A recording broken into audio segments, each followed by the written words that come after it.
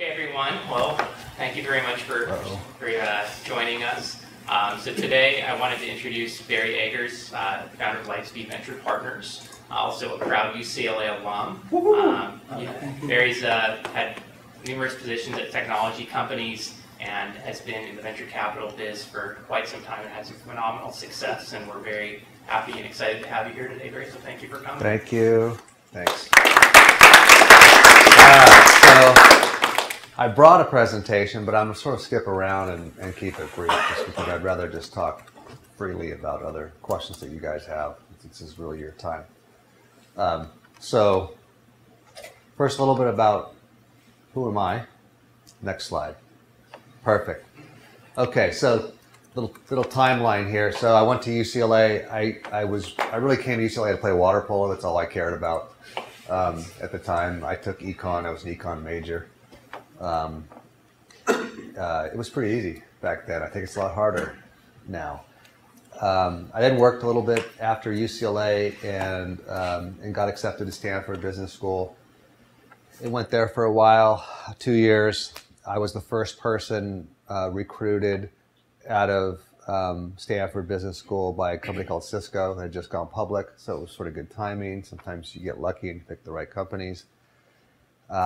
And then I, I stayed at Cisco for six years, rode the wave, and got the itch to do something smaller because I started at Cisco with 400 people. And six years later, it was 12,000 people, It was a big company. I wanted to get back to roots. So um, I got involved with Lightspeed Venture Partners, and became a founder there, and I've been there for 16 years now. So I can't do anything else other than venture. Just I better better do it well, not employable. Um, and I, hey, I like wine and scuba dive and all sorts of stuff. So thanks. Next. If I just give you a glimpse of what UCLA was like in 1985, there's no underground parking. You know, there's no medical center uh, no Anderson School. We were a football school. I guess they are again. We won three Rose Bowls during my time. And I can honestly say I went to one Rose Bowl and I saw three plays because I sat outside drinking the whole time. but that's what people did back then, social norms, right? And um, and I, and I, I clearly it was a lot easier to be admitted to UCLA back then.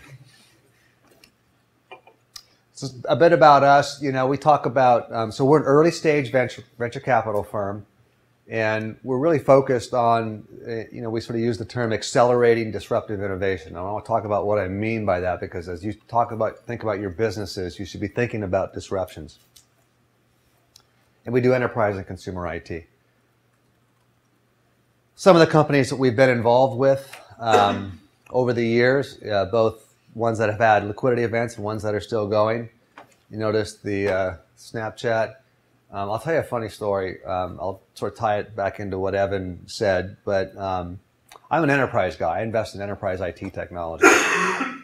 Um, my, I had a, I have a daughter who was uh, was a high school student, and when she was a sophomore, she came home one day, as early 2012, and she said, "Dad, you know, check out this app on the iPhone. It's called Snapchat." I go, "Okay." She showed me how it worked, she said, "Everyone's using it." It's as popular as Instagram. I said, well, I know what Instagram is. I'm not, I'm not an idiot. You know, I know a little bit about consumer, but I've never heard of Snapchat. So I took it back and went back to, uh, to my, my group and talked to our internet guys. And I said, Jeremy Liew, and I said, have you ever heard of Snapchat? And they said, no, he hadn't heard of it. So, you know, did some research and that's how Jeremy found Evan, but it was a lead from my daughter. Um, and what we did is, you know, we, we have actually a venture, the high school has a venture capital fund, her high school. It's sort of progressive, if you will. It's a valley thing. And I'm on the board of it. So um, we carved out 15,000 in the seed for the high school and it all goes to teachers. And that 15,000 is now valued more than $2 million a year and a half later. So the teachers are, are feeling pretty good about that. and we can talk more about the whole Snapchat thing and maybe I'll answer the, the question you asked about the seed note, I'll give a, you know, I think Evan was being a little kind to me too about, uh, you know, some of the, the terms we put on that seed note. So I'll, I'll fill the, the gap in. Um, and you guys know Whisper, by the way? A local LA company, really hot. Keep your eye on Whisper. Um, there's some good things happening there. A lot of momentum in what they're doing. So it's worth, um, worth keeping tabs on Whisper and Snapchat. Next. A lot of partners. We have, you know, 2.8 billion under management. A lot of, a lot of things we're doing worldwide, um, but it's early stage. How are we different? Um, I want to talk a little bit about the history. Let's keep going. Um, of venture capital. Go to the next slide. This is an interesting slide. This is the number of active VC firms. In in, in uh, the 70s, um, there were seven firms.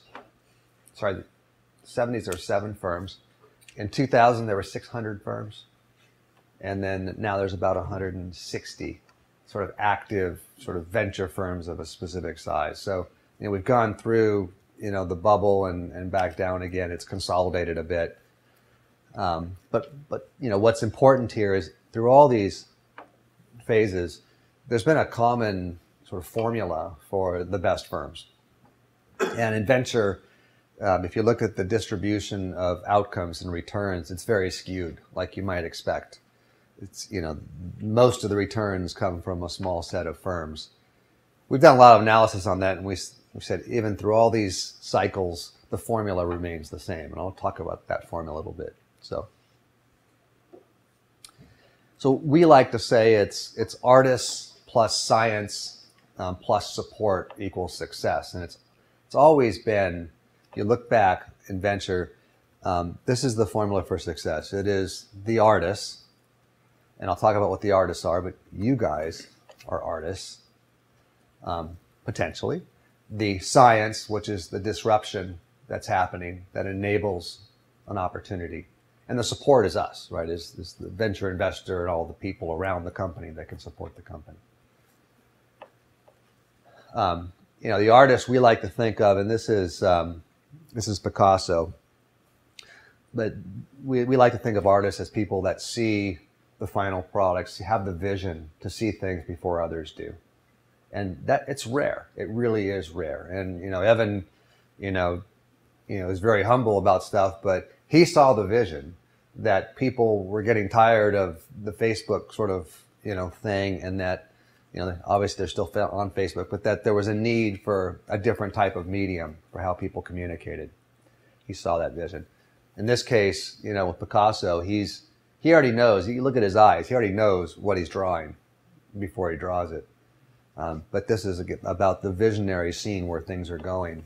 The next slide is also a good example. It's, this is, um, you know, for you who are art students, this is Michelangelo, right? And what he said is every block, before I just look at the, the block, I can tell what I'm going to, you know, carve out of that. So that's, that's the artist part, and that's what you guys all aspire to be. But again, it's about seeing things before others do. The science part, I love this picture. I mean, God, I mean, the suits, the white, the, the chalkboard, um, you know, this is NASA scientists, right? And the science is the disruptive part. Something's got to happen to enable some disruption in the market. What is it? What is it about your business that makes it, you know, why is the opportunity now? And so you should think about that for everything you're doing is why is the opportunity now? What's disrupting the market? And, you know, these these disruptions, there's, there's really, you know, there's no formula for the disruptions. They can come from a number of different places. They can come from consumers, they can come from science, they can come from, you know, all sorts of places. Academia is a great source of disruption, research, um, and they create these sort of waves of opportunities. Pardon the puns but this is Mavericks, those of you are surfers. Um, so we like to say is you know, we take the artists, the science, and then the support in the middle, and that's how we accelerate innovation.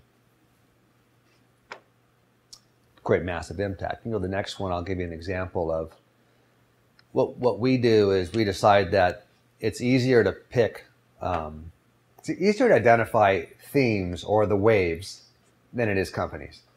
It just is, and so what we like to do, I think the, the, the, formula for success in venture has always been find the wave, identify the wave, and then invest in you know, multiple companies. So what do we do? We, we talk to a bunch of visionaries and artists in, in the world, you know, that we know, we sort of leverage our brand and sort of what we know, and people come to us because they think we get it in certain areas, enterprise and consumer. Um, you know, and then we look for that disruptive innovation, the macro trend. And we spend a lot of time, frankly, in academia. That's one of the reasons why we, we sponsor this, is we want to know what's going on here. We also sponsor a lot of work with uh, professors and, and PhD students um, in certain areas. I'll give you an example.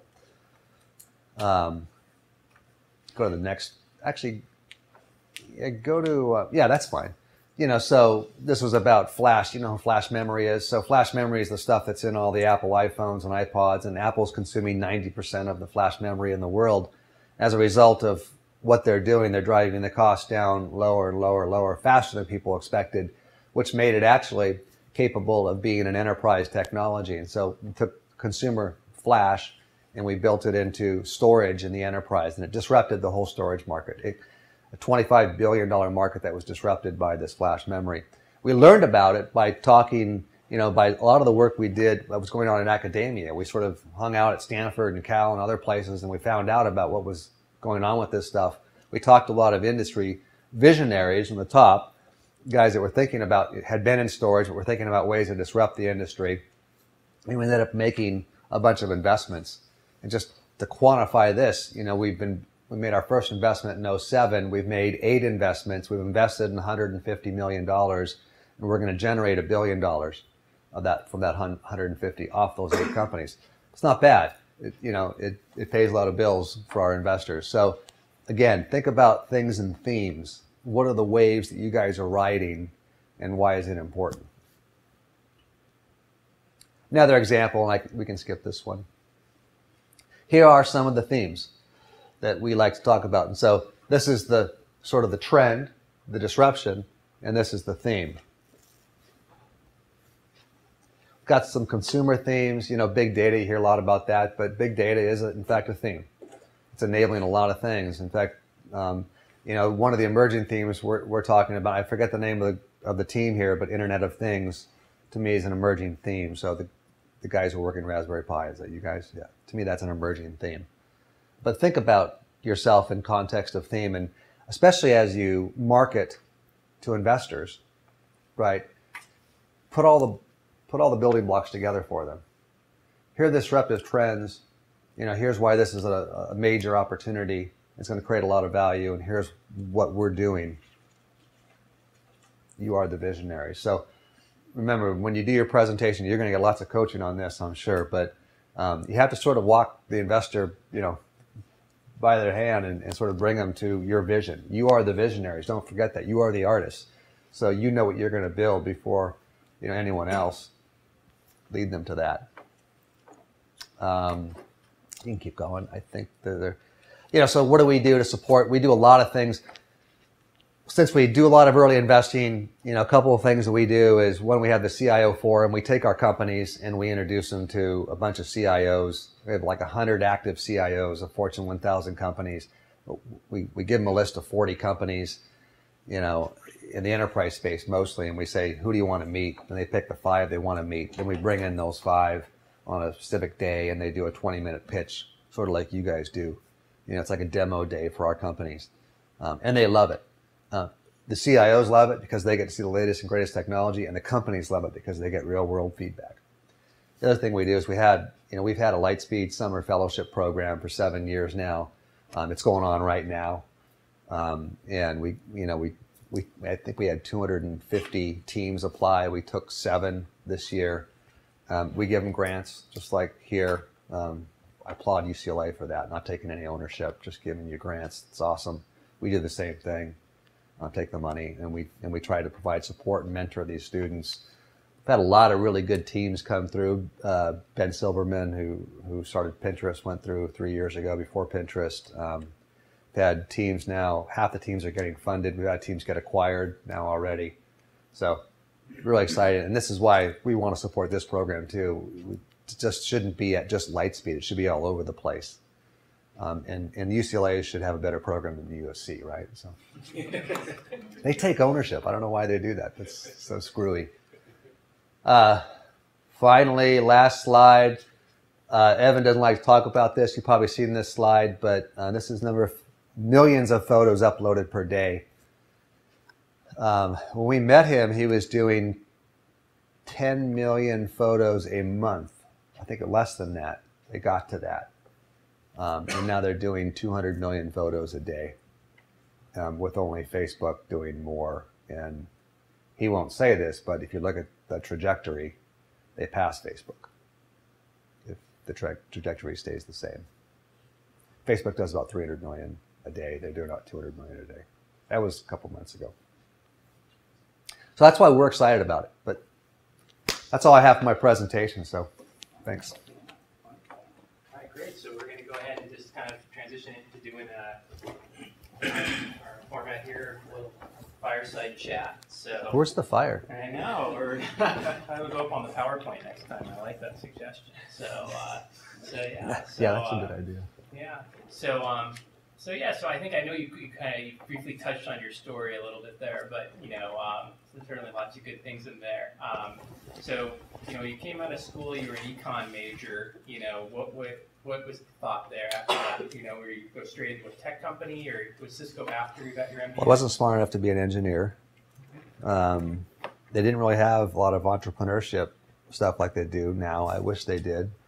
But econ was mostly econ and finance. So I learned how to be an accountant. I learned how to do econ, but I, for me, that wasn't what I wanted to do in, in life. So I got a job actually at a, um, wouldn't call it a startup, but it was an early, you know, early revenue company in the Silicon Valley, you know, newly public, and and that was, you know, I worked three summers while at UCLA doing that, and then got a job there after UCLA, and it wasn't a great company, but sometimes you learn a lot at bad companies. So I learned a lot at a bad company, um, and that got me to Stanford Business School. And then I went to Cisco, and I actually learned how to do things right after that. But Do you subscribe to the idea that you know, essentially, working in a startup, you're going to learn more than you will anywhere else, or do you think it can be very like you know, maybe you get a bad startup, um, you know, because we You learn a lot in a bad startup too. I think it depends on your role, but yeah, I would I would encourage everyone. I mean, you guys, you're entrepreneurs. I don't have to encourage you to go do a startup. You're starting your own. Um, Um, what do you think for those other people who don't necessarily have the idea? You know, should they be more startup oriented, or you know, is it you know, hey, go work at a big company for a couple years and then try to go the small route? I you know I used to think that way, um, and certainly when I graduated, you had to go. You had to start from the bottom and work your way up. What's different about today is because of all the technology disruptions that there's an entire workforce, you know, around my age and less, that's not as employable. And you guys know the technology as well as anybody. There's never been a better time to start a company out of school or in school than today. I mean, and Evan is a great example of that, right? So if you really want to be an entrepreneur, you can do it now in school. You should do it. And don't let anyone tell you what your career path is. I mean, he, he didn't. So I think it's awesome. I mean, I, I sort of wish I was, a, you know, coming out of college right now. So That's right. That's right. So when you got to Cisco, um, you know, did you have any background in enterprise, you know, from your other work, or was that kind of you're totally new to that? yeah, so my summer job, I'd worked in the storage industry, and um, well, it turns out what, what happened was, um, just like Evan got introduced to Scott Cook of Intuit, I signed up for an alumni mentor. I don't know if you guys have that here, but we have alumni mentors at Stanford. And I signed up, and I got assigned a guy named John Morgridge, who was CEO of a then private company called Cisco. Um, so it was a little bit lucky, but I said I wanted something in software or networking, and, and he was the only networking company. Um, so I got to know John over two years, and then and then when I graduated, I was looking at jobs and had some offers, and he said, well, "Why don't you come work at Cisco? You know, we, we haven't hired an MBA before." And I said, "Okay." And he had gone to business, you know, so I, I went and um, worked out. But you know, one of the common themes here, I think, is you listen to Evan's story a bit. Is you know, you sort of get opportunities thrown at you when you don't when you don't know it. But um, when you meet when you come across and meet people, um, you should latch onto them in any way you can and see if they'll help you. People, everybody, people generally like to to read, you know, to help you, and because they got help in their career. And so when you find people like that, you know that you think could be interesting to yourself, latch on and figure out where it can lead. But don't be afraid to take those opportunities and make the most out of them. Right. Yeah, definitely. Um, I know it's a rich guy uh, in LA who always is talking about you have to ask, you know, and if you don't actually ask, and you know, you're never going to get it. So, you know, it's uh, as simple as sort of reaching out. And, Don't be afraid to ask Yeah. for help. uh, Yeah. Um, so yeah, so so then uh, so things obviously went well at, at Cisco, and you got a lot of you know industry expertise. And I assume that between all of that, that really informed you to get go to the VC side and you know, feel like you can make knowledgeable investments in that space. Is that you know, kind of Yeah, I, I don't know. Um, you know, I, I, I didn't even take the VC class in business school because I thought I'd never be a VC. I don't want to be a VC. I wanted to be a CEO. That's what I thought I wanted. Um, and then I got into Cisco, and as things got bigger, I said I don't really want to be a CEO. I don't want to. Um, I don't want to work in a big company. So, and I had I'd done acquisitions. I was the first guy doing acquisitions for Cisco, and so I got into sort of investments and acquisitions, started enjoying it. And a classmate of mine from business school recruited me into venture capital, which is another thing. This your classmates tend to be really important to your career over time. Right, right. Okay, interesting. Okay, great. Um, and so when you got into venture capital, what was your first investment? I don't know, but I'm sure it failed. Fair enough. No, ac- actually, you know, it's funny because I got in in late in the '97, and um, it's probably the easiest easiest time ever of venture capital, where you know you could make investments, and most of them turned out good. So, um, so I, some of my early investments, I had some IPOs early on, and I thought I was really good at it. You know, and then we went through the 2000, early 2000s where you you couldn't make an investment that did well. So then I thought I was really bad at it. Um, and now we're in a time when you know it's more more neutral and and there's good investments and bad investments. So get a better feel for. I've learned a lot along the way. Trust me. Yeah. I mean, do you feel like now, because of all these factors that have changed, like the idea of the companies being cheaper to start, um, those kinds of things, you just see a ton more deals now? Like, I, I just imagine right now there's just so many more companies springing up. Yeah, they are cheaper to start, um, but that means there could be more of them, and that means that you know eventually, as they vie for more capital, um, you know, there's more attrition. Right. So I think that's everyone's talked about the what do they call it, the Series A? Crunch. Yeah. Yeah.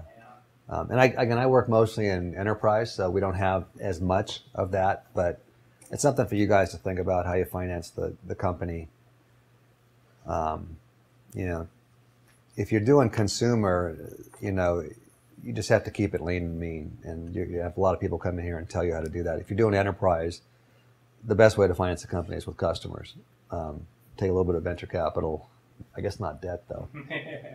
Standard terms. Um, That's right. You'll be on your way. So, uh, yeah, yeah. I should explain that too. You, I think was you asked the question about the debt.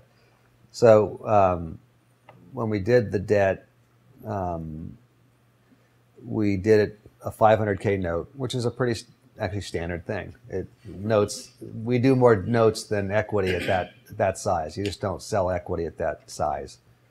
Um, and we would have bought equity, but we did a note um, convertible into the, the Series A, and um, and it was capped at like four pre or 4.2 pre.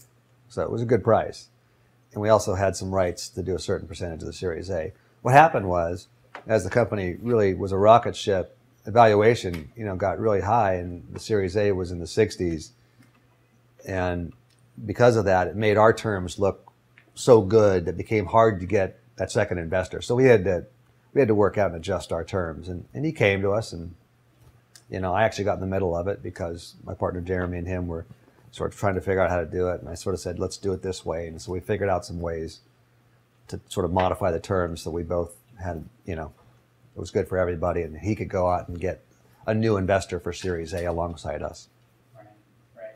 And yeah, I agree. I mean, usually most of the deals that we see in the very early stage are convertible Yeah. notes, you know, and you can debate the cap or where that comes in. But I mean, But at the time, I mean, we made the investment.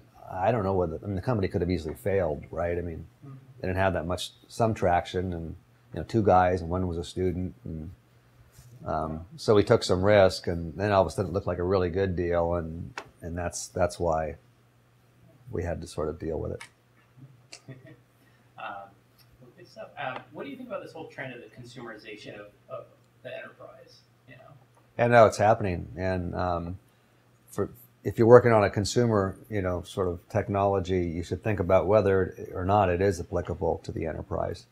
Some of us, you know, walked around and sort of, and and like you guys, I think it might be right. So, um, but the enterprise IT is so vast now that people are bringing stuff into work and it's accepted, whether it be an iPhone. You know, it started with the BlackBerry, I think. You know, iPhone. You know Dropbox, I mean, on and on and on, is these technologies are getting dragged into the enterprise departmentally. And, and then that's the impetus for sort of land and expand um, technologies. And so we back a lot of companies that that is their strategy is land and expand, is go around IT into a department, get your footprint, and then expand your footprint. So it's a very, very viable um, way to sell to enterprise without having to deal with the, all the suits in the in the IT. right, right. So, so you're looking at a deal, and I, mean, I think one of the main things that you, you know our companies really want to hear is sort of the main criteria that you tend to look for, uh, whether that's about the team themselves or the overall opportunity. I mean, you can give some thoughts on that. Yeah. So I mean, we probably look at deals the same way you do. I mean, you're making an investment in a company, right? Your own personal investment of your time. Um, but it all it all starts with the team, the you know, the artists. So you know, what do we want to see out of a team? Um, we want to see, you know, the technology side, and we want to see the business side. Certainly, we want to see the vision, how they work together. Um, so that's the first thing: is what is the team made up of? Um, and, and you really got to nail the technology side. I think it's you know, sometimes the, the vision can can be fleeting a bit, but you got to nail the technology side. Um, you know, we look at the market opportunity. What's disrupting the market? Why is this an opportunity? And um, most of our best investments have been because of these huge technology disruptions or market disruptions. Um, you know, and then of course you fill in the gap with the product. What, what, how are you, how are you solving that problem? And you know, what is it? But it's it's really that simple. I mean, you can go into so much detail on stuff. If you just think about it when you present in that simple format, is remember VCs we have, very short attention spans, um, just in general, and we want things to fit together nicely because we want to understand them. If VCs don't understand something, they'll just pass on it because they don't understand it. Doesn't mean it's not a great idea, but they just don't understand it. Um, I've certainly done that. You know, I don't understand everything, but I like things to fit together nicely, and I want this. I want to be able to tell the story back. Um, Snapchat's pretty easy, right? My daughter taught, you know, showed me in 30 seconds. I got it. Okay, I get that. I understand. I'm not sure why you want to do this, but I get it. um, so tell your story that way, right? This is why. This is this is the need. This is how we're feeling it. This is why it's important, um, and and keep it so simple. Um, that's the worst thing you could do is is, is make the, the, the pitch too complex because you'll lose people. Do you guys usually uh, invest in, you know, say generically local in terms of your investment profile, or do you guys? I know you guys have some LA investments as well. Yeah, well, we're in uh, we're in ShoeDazzle, um, Honest Company, Jessica Alba, um, Whisper, Snapchat, um, we've had a couple others. So yeah, we like LA. Yeah. Um, I didn't realize the issue about the equity as much until I heard it today, though. I've heard a little bit about that, but um, yeah. I like the idea of having a little program that you can sort of calculate how much your equity is worth. Yeah, I agree. But I, I yeah, I think I think it'll change pretty quickly as soon as you see some some multi-billion dollar outcomes people realize, wow, you really can make a lot of money on the equity. You guys look at like New York at all, or? Yeah, we got some deals in New York, uh, Bonobos, Men's Fashion, um, PetFlow, a recurring dog food delivery thing. Okay. Um, we do some, we but we do a lot of stuff in the valley and Yeah. do some stuff in Texas, and we also invest in Israel and India, and we have a separate fund in China.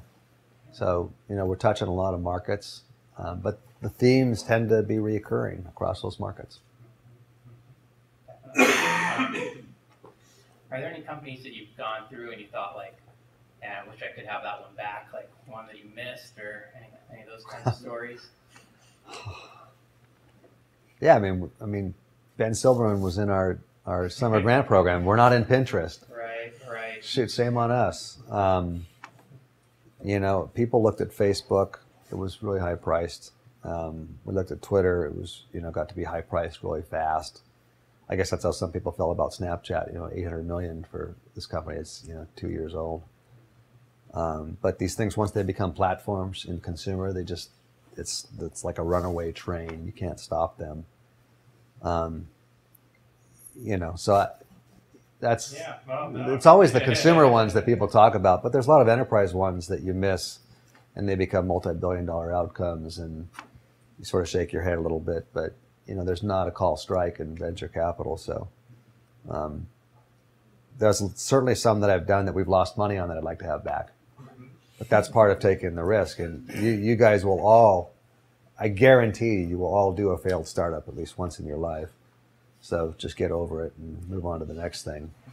It's failure is to me is part of the part of the equation for learning, um, and you should constantly iterate about stuff. I, I like the idea of actually. I know a lot of people that take sort of daily logs on stuff. They just write down a lot of stuff, and you just got to. The faster you're learning, you know, the smarter you're going to get on stuff. You know, it's interesting. Um, there was actually a blog post today about uh, about you know sort of accelerators and how people get tons of feedback, and they say they get whiplash because they're getting all these different viewpoints. You know, and we have that here where people come in and they, they hear the pitch and they say, "Oh, you need to do X, Y, and Z or whatever," you know, and uh, and one of the suggestions, which was so basic, was just to like record the feedback in you know a spreadsheet and try to note it over time because it's like Yeah. you know you're having tons of people every week give you feedback and uh, and we see it here and, and I, I get a lot of questions you know from people kind of saying like how do I know what's good feedback you know and You don't. right right um, other than the fact that you can sort of look at the source. I'd look at the source a little bit just to see the quality of the signal, signal to noise ratio.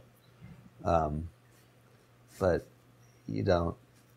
And- And, you know, we all get bad advice and good advice, and you have to sort of filter it out and make your own decisions. But that's the exciting thing about a startup. Like, There's no, there's no, you know, set formula. Like Evan, people told him what what do you say that you should make the picture go to Best Buy and make the picture stay around? It's like okay, whatever. Um, good idea. right right yeah I think it goes back to that thing of like you know you being the domain expert and Yeah. you know you ultimately have to be the one who makes the call and you know and also they pointed out that like you know if it's uh, an investor might give you a different kind of feedback than I don't know some other mentor, someone from industry, and how you have to weigh them. You know, in the sense that an investor wants a very big opportunity. Yeah, and plus, plus when you get investor feedback, you have to take it with a grain of salt. A lot of times they just make stuff up. They just don't like the deal, and they'll make something up to make you feel better. Um, there's a lot of VCs that do that. There's, you know, I prefer to give really straightforward feedback. There's a sort of set of VCs that do that too, but you have to take it all with a grain of salt. Um, you know, I, I think the, a good idea is to surround yourself with some advisors that you trust, that are notable people that, that maybe have some good experience, and and and if you you can sort of triangulate, you know, feedback a little bit as you as you go, and you start trusting people um, and their instincts a little bit more than than others, and so I think it's worthwhile to try to have that sort of advisor group, just not only in here but also outside. Well, here, why don't we open it up to some questions here? So, Any big pitfalls that companies at our stage should keep an eye out for? We, we get a lot of good advice on what we should do, but what about something that we pitfalls. definitely should not It's a long list. Um, you know, um, I think there's times when you got to know when to. You got to know when to. Your idea is not a good idea. First, you know, I mean, part of it's persistence, but you know, part of it also is is, is you know do I need to pivot a bit and you got to sort of take the data and you got to read the data. Um, so don't you know sometimes your your your heart can get in the way of of you know your brain, right? And so read the data and collect as much data as you can on stuff, um, you know, and constantly iterate on that. Um, you know, team team is you know sometimes the team chemistry may not be great. I can tell you the team chemistry isn't great at the start. It's going to be terrible, you know, two years into it. So, you know, not only should you have complementary skills, but you should have chemistry. You've got to be able to work. It's like being married when you're doing a startup. You're spending more time with this person than you are in, in a marriage with your wife or husband. Um, you know, um, the financing stuff is is is tough. It's I mean it's really stressful, as you heard earlier. That it's really stressful to go through. We're not easy um, to raise money from, and, um, and it places all sorts of demands on you. So um, I I would suggest getting. That's a good place for advisors to find advisors to help you navigate the fundraising environment. And and you're going to hear a lot about VCs that are entrepreneur friendly and all that kind of crap. You know, I manage money for for um, for endowments and you know companies and public institutions and CalPERS and stuff like that.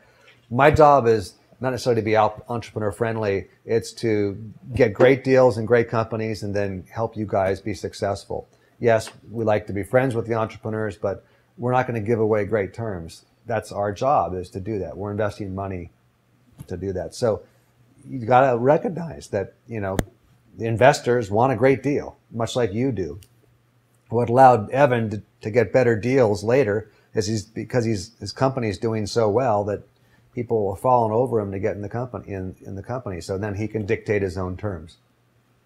But you know, you do have to. I think he had good advice. Is you know, you do have to make sure you have really good advisors on the financial side, on the legal side. You know, there's going to be some lawyers come through here use professional lawyers that are in the deal flow that do a lot of venture deals.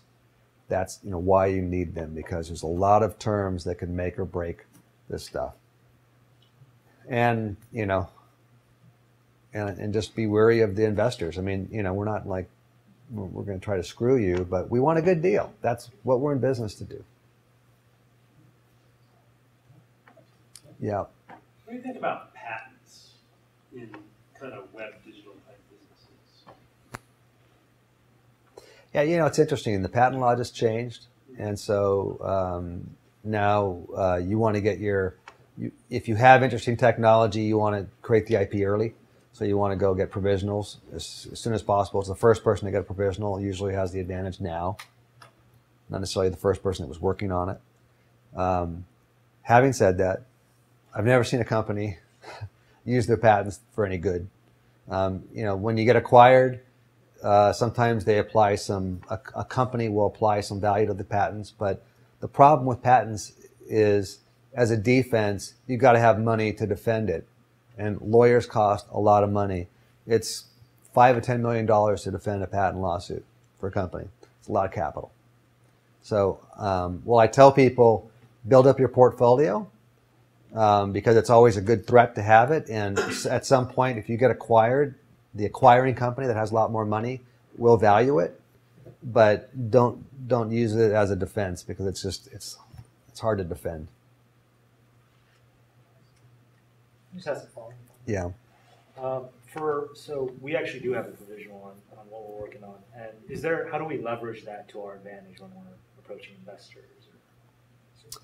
Um, how how important is the technology? Uh, it's novel. Novel. Yeah. Um, I just describe it. I just describe, hey, you know, here's our IP. This is our IP, and you know, we're applying for a patent. We believe we're going to get, you know, we're first in line here. We're going to get that patent. But I think an investor will think about it the same way I do. Okay, great. I'm glad you guys have this technology.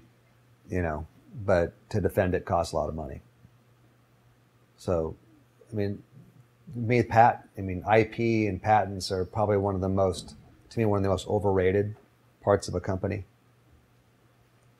because it's so easy for big companies to um, to attack them on that. What I think is is more important is taking the innovation around the IP and extending it, and continuing to extend that. If you can do that, to me, that's how you you keep technology leadership. Um, so you talked about your formula, right? Yeah. as the artist being able Yeah. to see in the future. Um, but how do you know that, you know, whether you're getting a Picasso or say a Thomas Kinkade? I mean, be commercially viable, right? But, I've had both. okay. Yeah. So how, how, do you? I've had the, the guy with the fro that paints on TV. I've had him too. I Oh, think. Yeah, Yeah, I think I've had him. Um, you know, um, part of it's track. I mean, how, how many of you would consider yourselves artists, visionaries? How many of you think that you actually have some vision into where things are going? Yeah, of course. No, I. It's okay to raise your hand. I think you should. Um, that's. I mean. Yeah, I would say when you're presenting, make sure that that comes across. You are the artist. You are the vision. This is where things are going. Um, but yeah, you know, where? How do you know? By by looking at past history is a is a good. You know, Picasso had a lot of cool stuff he did, so you figured the next thing he's going to do is probably going to be cool. Um, that's how you have to do that. But um, and he talked to a lot of people. I mean, there's really no one person has necessarily the vision, right? Someone may take a bunch of data and say, "I think this is where things are going." You can test that vision with a lot of in- industry people, which is what we do. We test academia, we test with lum- industry luminaries, constantly test, um, and and you'll either get, "Oh, that guy's crazy, doesn't know what he's talking about," or, "Wow, that that actually is sort of interesting. That that could be right." Um, you know, we found this guy. We we sponsored a lot of this work at Stanford. They did this thing called Clean Slate. They said if you could design a network from scratch, what would it look like? They called it Clean Slate. So we gave them money, and one of the early PhD students, this guy Martin Casado, had an idea for how you would really turn networks from hardware to software. Um, and and we believed that vision, and and we checked him out, and all the people we said that this guy is brilliant, and he know he gets it. And so, you know, we eventually put money in his company called Nicira. They were acquired for over a billion dollars. You know, and he sort of the guy that started software-defined networking. So there's ways. Going off that, then, you ever like see? Um, do you ever take a person that comes in for a pitch and invest in them solely on the person itself rather than on the uh, product they're selling? Like you see someone, you're like, this guy gets it. We're gonna invest in him because we think he's gonna make it regardless of what field Yeah, I have. An example. Um, um, there's a re- I had a, a guy that made me money in my pr- previous company. We sold his company to the company to Microsoft. I said, whatever you're doing, you know, I'll do the A round, and I did. And he's in the Hadoop space. He's got a great company, and you know, back in the heyday, I remember, and this I, I'm ashamed to even tell this story, but um, back in the heyday in the 19 late 1990s, you know, term sheets were flying. So I remember that there was a, an entrepreneur that I that I knew well from my Cisco days that had sold three companies in a row, and he was doing his fourth company. I met him at a trade show, heard the pitch. In fact, he just gave me a pitch on the whiteboard, and I gave him a term sheet right there. And I ended up making a 10x on the deal in like six months. And I'm thinking, well, that that was easy. Again, but you know, sort of stupidity at the time. But you have an instinct about people. It, again, it all comes back to people. There are certain people that, that are these artists, and when they're really artists, you want to invest in them because they do find the white spot, white spaces. They do, you know, know how to run companies, and they don't need our help. That's the most important thing. Is they're they're very self-sufficient people. They'll call when they need something. Yeah. Do you judge like kind of commercial companies like Snapchat against a different standard for say enterprise investments? It's a good question. Um, yeah, they're really different beasts. They really are. It's funny in in consumer, um, in enterprise, it takes a lot longer to build a company. You feel like you have more IP. Um, you get a lot more customer sort of feedback along the way, and you know, but it's sort of a slower slog. But once you get there, you know, you can really build these substantial companies. You know, Ciena, Brocade, Fusion.io, they all become, they can become great big companies. The in the consumer space, sometimes you can get this early traction, and you think it's going to take off, and all of a sudden it just falls off a cliff for some reason. They do something wrong, or just people grow tired of it. Um, you know, in some cases, I think that's what people thought might happen. You know, Facebook, MySpace. You know, what what the heck happened there? You know, um, Twitter. You know, Snapchat. Who knows where it goes from here? It's pretty popular. You know, but it's still early. It's you know, it's two years into the company. So yeah, we do. We um, we tend to take, and it requires a little less capital to cons- do consumer. So we tend to do a lot more seeds in consumer, get it going, you know, get the app out there, see if we can get some customer, you know, feedback early. You know, it's pretty easy to do that. Enterprise, you can never do that. It takes so much money to build the product that you have to invest in the people and the team and their track record before. So we, yeah, we do look at things a little bit differently. But you know, on the consumer side, shoot, you, you know, you can you can have much larger those those those anomaly companies are much larger outcomes right the 20 billion 50 billion dollar outcomes that you see maybe you guys have a couple of those in your life Yeah, it's funny. It reminds me of a story. Um, an entrepreneur I talked with who um, he went in, he pitched, uh, you know, this investor, and obviously the investor really liked him, but he pitched him a gaming company. And obviously, for uh, your gaming companies are not usually investors' favorite types of hit-driven business, that kind of thing. And the investor told him, "Go, walk out the door, and come back and pitch me any other idea, and I Yeah. will fund you." and he did, and he funded them, and now they're off, and you know, they got a name around now and whatever, you know. So it's, uh, you know, but yeah, so I, I definitely think there's some validity, you know, to just, you know, the people angle and feeling, like, hey, you know, just want to bet on that horse, and there you go, or the jockey rather, I guess. I have another question, kind of following up with the uh, Yeah. enterprise versus consumer. If we had the ability to pick which one we sell ourselves at, as an enterprise or consumer, would you recommend going one way or another, or just like that? um, if i'd rather be a consumer vc but i'm too old to do that so i'm an enterprise vc and that's my background but i think consumer is a lot more fun. Uh, i mean enterprise i think you know if enterprise is in your blood there's a lot of disruption happening in the enterprise. Cloud flash big data you know it's all happening at right now. There's not been as much you know there's as much disruption now in the enterprise as there's ever been. Um, so it's a great opportunity. But consumer man um, you know we're at the beginning of the mobile thing right? The internet thing is you know it's only like 20 years old right in terms of mosaic. You know there's a lot of great stuff happening. And and if you look at the growth in these apps and the growth of the penetration it, it's so fast. You can build a big company literally overnight. I think that's exciting. And you know consumer stuff to me is is probably a little more intuitive. Um, you know it probably is for all you guys. You sort of you can use it. So i you know lack of capital it's easier to get get things started um, get customer feedback faster and sort of fail fast. You know and i think it's more interesting frankly but that's not what i do. But you know the, the difference is that the bar is also a little lower for enterprise um, for consumer and there's a lot more consumer vcs running around for enterprise you know someone said there's only like 20 guys that know how to do enterprise vc but I don't know if that number is right, but it's it's a lot less. So to me, I'd rather swim around in a pool that, you know, where there's less fish and and go after some really interesting ideas. Yeah. Another question. If you don't mind asking, so then what about, uh, say you guys invested in Nest. So how do you guys Yeah. deal with, say, consumer grade technology that also though has like a physical, not quite enterprise grade aspect, but they're still, they have to still build something?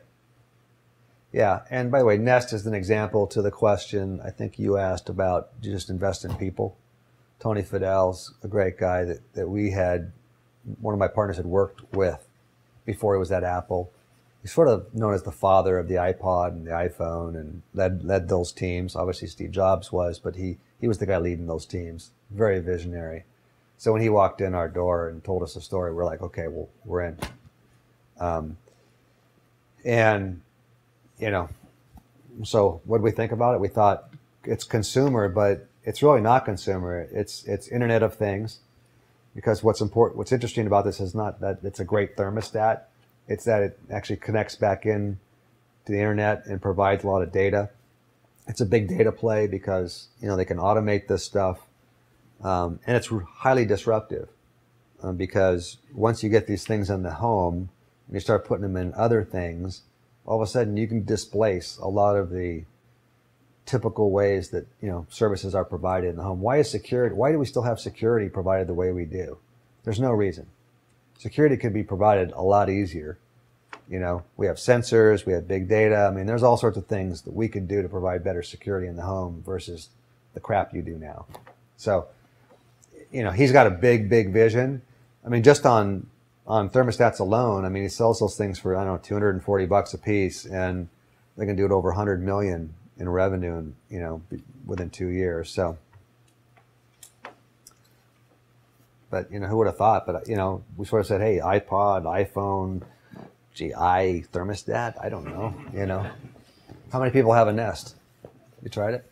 No. A little expensive right now for your taste, maybe, but over time, cost goes down. You know, I mean, home automation is one thing that should all be controlled by your phone, right? So why, why, you know, and that's the other thing is this mobile mobile phone is, and you guys probably get this. It's it's a control point for a lot of things. It has a lot of sensors in it. It can see sensors, different wireless sensors, and pick up, you know, signals. You can create actions from that. So to me, the mobile phone is a great opportunity to disrupt so many different traditional ways we do things. So, um, when you're talking about waves, and I think, you know, particular to what we're doing, trying to do with e-commerce and uh, web on the app on the phone, you're seeing companies like the Bonobos and then brick and mortar retailers like um, Nordstrom, who's pretty forward thinking when it comes to technology, come together and collaborate. Yeah. Is would you consider that a wave in the direction of how people are going to shop, whether you know there's e-commerce partnering up with Yeah. At first, I thought you said Waze, and I'm thinking, yeah, that's another deal that we missed in Israel. Damn it. Could have owned 20% of that thing. Um, gosh. Waves. Yeah. So for e commerce, any of you guys doing e commerce? Yeah, we are. Okay. So, um, yeah, I mean, Bonobos started all online. Right. What they realize is it's a lot more powerful when you have the online with some kind of offline component. So they have these little boutique stores they started. They, they're in Nordstrom, and it's it's spectacularly successful in terms of dollars per square foot that they're creating. So they're they're bringing off online investors offline. That to me is a big trend. Is you know a lot of people want to buy online. Obviously, Amazon's proven that out. But a lot of people like the shopping experience, and so if you can bring people online to offline, that's big. And I, you know, I think that people like the Honest Company will, you know, will do some of that too. Yeah. And I got yeah. So, anyone, anyone customer of the Honest Company? Does anyone have kids? Okay, yeah. Diapers, Honest Company. Jessica Alba. You know who that is? Okay, okay. Have Brian Lee on our advisory board too, so. Brian Lee's great. Yeah. Is he coming in to talk? Yeah. yeah, He's great. yeah. So you guys don't miss the Brian Lee talk. He's started a couple companies for us. Awesome dude. He's the UCLA, you know, law, I think, And undergrad. grad and undergrad, and he's got a lot of lessons. I mean, these are the all the questions you're asking me. You should ask him because he's he's got the scars to prove it. That's right, that's right. So, uh, so yeah. How many people are um, so mobile stuff? How many mobile companies here? Okay, consumer mobile. One, two, uh, three. Yeah, like four. Yeah. Yeah. okay. And then online, the rest is all online. Any non-traditional or, or, or non-online? Yeah. I guess, I mean, Two of those. kind of- What about shelf lines? Kind of medical device, Okay. sort of. Okay. Medical device. Okay. Then yeah. So so. one of you guys, mobile guys, who raised you guy in the, you guy in the back. Sorry, I forget your name, but what's what's the big disruptive trend for you? We're trying to connect people with our platform so that they can play sports or physical games, like mini games, against each other by recording themselves playing, like, recording their attempt at that game. So we're starting off with our example game is uh, free throw shooting. So someone can record themselves, or a friend can help them record. They can set up the camera, and they'll try to hit as many shots as they can in a minute. You know, like chasing a ball or getting rebounds, Yeah. and then the winner will you know, win a prize. So is the trend, you know, rising boredom of society, and then need to reach out to people to create events? I mean, I mean, So, so the trend that, I- thing. Yeah. Um, basically, the first time ever you have this little thing in your pocket that can allow you to basically record anything you want Yeah. and share it over a much larger network. that's one disruption. So that's what we think is hugely disruptive. The speeds really weren't there in the past to do this kind of thing. We think for a lot of sports, like there are plenty of uh, nerds like ourselves that love to play video games against each other, like World of Warcraft or what have you, in a social environment. But what if you're more jockish kind of guy that really wants to compete in a larger format? Uh, so for the first time ever, we're really going to enable people to compete in that larger format um, from anything from you know, basketball Yeah. to beer pong and bowling. So That's a that was a great soundbite, by the way. Did everyone hear that? I mean, that what you just said, and you know, add on to yours is that's as an investor, that's what I want to hear. In fact, make that your first slide. I mean, seriously, I mean that what you just said to me. Okay, I now I get that what you want to do. Now, how do I play beer pong against somebody else? Another. uh, it took us a while to figure that out. I've learned to play beer pong Mine- with my kids. second part, but uh, figure one cup um, at a given distance, like six feet, where you can. How many? issues- How many you can get in it? Yeah, and, and basically measuring it via like common household items, um, so we can see how far it is. So just one cup and see it. Well, people. I can see that being popular in colleges and stuff. So, yeah. And we're trying to look at all the games of skill. So That's great. Yeah. Wait, wait. That, that's that's a good example of how I want to hear things. Just how many of you guys are undergrad UCLA students? Still, you haven't graduated yet. And how many graduate students? And graduate in what what what departments? Uh, MBA. MBA. Anderson. yeah. We're uh, political science. Engineering. Yep, bioengineer. Yeah, bioengineer. And Anderson. Anderson. And how did you guys find each other? The engineering. Uh, I pitched him at uh, just saw him at an event and took him to lunch and pitched him. actually figuring out that interaction is Yeah. a big thing for us is sort of you know pairing founders together. So, Why isn't there a site for that? Someone ought to build an app. There- Find the engineer app. Is there? Yeah. What's it called? Check out a co-founders lab. It's a really good one. there's a couple of them that are trying to trying to figure that out. Um, but I wouldn't say anyone's like quite had the you know secret sauce on Yeah. that. So So you guys are coming up to pitch on the 28th. yeah, So you know, at our place, and I'll I have invited a couple, invited some other angels outside of Lightspeed to attend, just so it's a real thing. Um, so we look forward to how long are the pitches?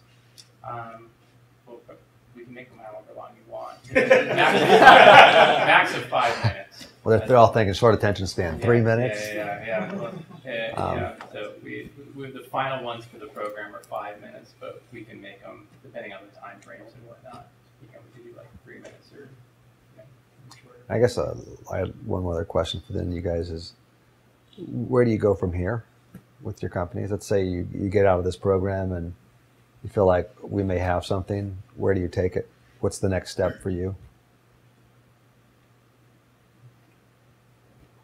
For, for us, Yeah. it's testing. It's really making sure statistically that our product can deliver. But how about like financing wise? I mean, how, are you gonna? Is this something you're gonna go all do? Yeah. Go try to raise capital for, or just bootstrap it? Yeah, some of them I think will kind of go off on, on their own. Others will be applying to other accelerators. to kind of Okay, there's an accelerator process. you can go to after they this. can go after that. That's the problem we had other teams do last year. Um, Yeah. And then some will, you know, look at raising money. So, and some are current students and they'll go back to school too. So, Isn't there a program at UCLA where you can take some time off and come back? Yeah. Should be. yeah. Yeah. Yeah, yeah, they can have like take time off as well too. And I guess it's there any Yeah. you know, any questions that you, you haven't ever asked a VC that you would want to ask that might be, Yeah, this is really like I mean, sort of unprecedented Yeah. access. You know, in the sense of like you know, Barry really you know volunteered his time. He's an advisor to our program. Lightspeed is a sponsor of our program, so you know we're really happy to have all of your involvement. But certainly, this is your chance. So you know, I'll tell you that. I'll just leave it open. As you seek funding, um, and you're getting term sheets or people are, you know, feel free to just reach out to me. I'm happy to give you input as an advisor on the funding and I'll, you know, entrepreneur friendly input. Um, and I'll try to tell you where they're coming from and maybe help you with negotiation because you can always. But love to see all you guys, you know, find something you're passionate about and start companies. I think that's awesome. Don't forget to come back here then and help future classes. Yeah. Uh, for the four or five of us that are still undergrads, is it necessary to take a break from school to get finance? Is that standard? Evan didn't. Okay. No. Okay. He just didn't. But you know, he was the kind of kid that was working full time on it and had crappy grades as a result. I think. But um, but you know, Okay. I don't think he had bad grades actually. I I know you're an MBA yourself, but is there kind of a bias against teams that are MBA led as opposed to all engineering teams? Or? Um, I like I like seeing a business guy. I always think of an MBA as a business guy with a technical guy. Um, you know, I think the bias has evolved quite a bit. That um, people coming out of undergrad can be just as market savvy as MBAs, but you know, I tend to like seeing MBAs around the table. So UCLA is a good, really good program. Um, but I just think you have to have that business guy and, and the technical guy. Did I answer the question? Yeah. Yeah. But yeah, it used to be a lot more important than it is now. I think because we've seen a number of people start, a lot of prominent founders that do not have MBAs. So, frankly, I think they should just let. I like the idea of some someone having a doing an undergrad and then letting them go straight into an MBA. So maybe a five year program where you get an undergrad plus an MBA at UCLA and come out of it. I think that would be an interesting program. Speaking of education, so you still find value in MBA?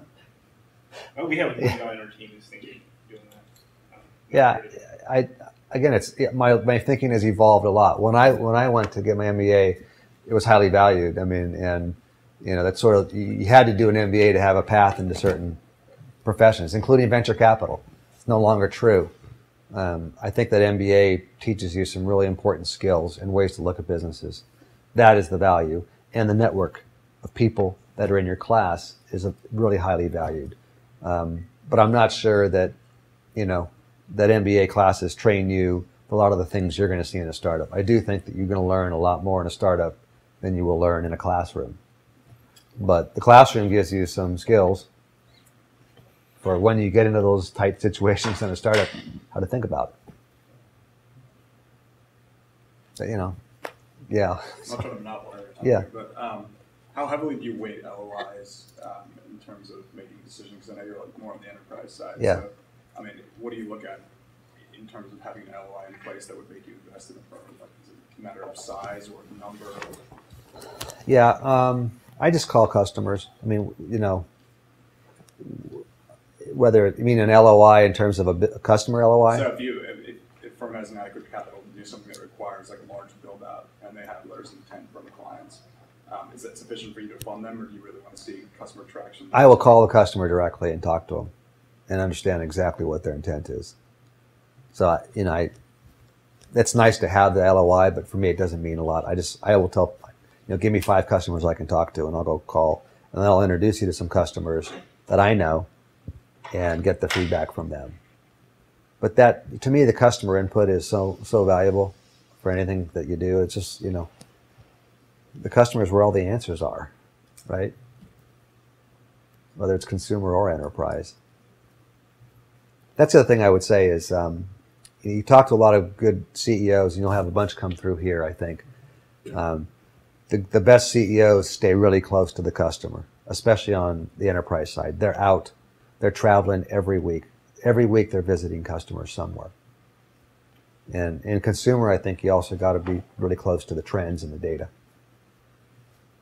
You know what Evan does is he he you know his one of his secrets is he his sister is in college and so he feeds her a bunch of stuff like some of the secret there's these little secret codes on Snapchat to make things look like a negative picture, a black and white picture. I don't know if you know about that stuff, but he'll feed that to his sister and have her feed it to her friends just to test it out. It's it's sort of a way of staying close to the consumer though, right? So, yeah. You give some of your opinion on some of the things that Evan was suggesting to us with making your own term sheet and having the VC sign it, but then something like that? Like from your aspect, are these things actually possible? Because they seem like good tactics if, if. Not not at the early stages. They're not. No, they're just they're just not. I mean, once you have a lot of leverage, like Evan has, and you have a company that everyone's thinks is hot, or you're a repeat entrepreneur that anyone wants to back, then you can do that. But the problem is, if you do it and you blink, then it can really backfire. If you come in and say, "I'm gonna," I, you know, I need 800 pre, and then you get no takers, people are going to say, "Well, he's full of shit." You know, he's, you know, he's going to get 800 pre. But in the beginning, I think you have to go with what, you know, terms. And I would just say raise as little of, as little as possible, right? Just figure out exactly, how, you know, what you need to get to that next milestone. Run really lean and take as little capital as possible. I shouldn't be saying that. I want to give you a lot, but you know, run run lean. And then as you get your company progresses, if it's positive, leverage starts coming your way, right? Um, but on the other hand, you do need to give away to capitalize the company. You're going to have to give part of it away, so just factor that in. Maybe not in LA, I guess. Engineers don't want. But I mean, I, I usually look at like I, I like a nice on the enterprise side at least. I like a nice split cap table. I like to see about forty to fifty percent owned by the investors, thirty percent owned by the founders, uh, 30 to 40 call it, and then 20% option pool. That's what I like to see. That's pretty standard. Now consumer can be a lot different. I can tell you, yeah, so. We have time for maybe, yeah, one more One more. question, anybody? got through the group. All right. Well, thank you so much for coming. Awesome.